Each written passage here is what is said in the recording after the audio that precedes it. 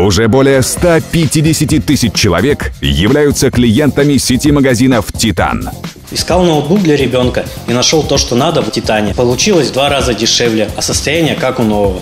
«Титан» для всех и каждого.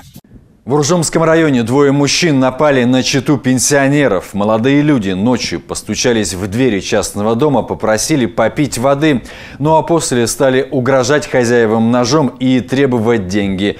Детали преступления в нашем первом материале выпуска. В чем подозреваетесь сейчас?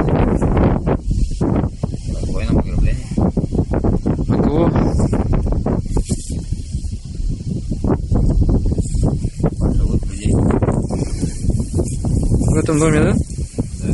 Перед камерой они ведут себя смирно, робкий голос и смиренный взгляд. В наручниках на следственном эксперименте дерзить некому, да и себе дороже. А вот в июле на этом же месте они показали свое внутреннее «я». В чем подозреваешься?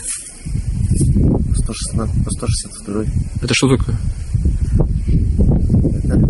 Ну что делал своими словами? Ну, нападение На кого?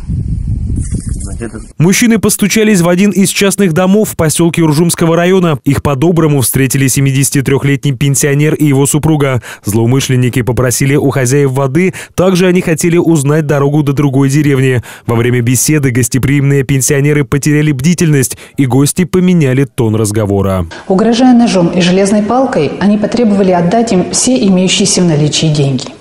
Опасаясь за свою жизнь, пенсионеры отдали 8 тысяч рублей.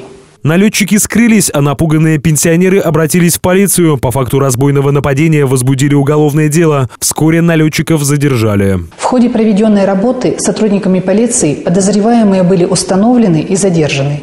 Ими оказались жители Налинского района. Сейчас оба налетчика 1989 и 90 года рождения находятся под стражей. Известно, что один из них уже был на скамье подсудимых. Сейчас полиция проверяет, кому еще могли навредить подозреваемые. Артем Миронов. Место происшествия.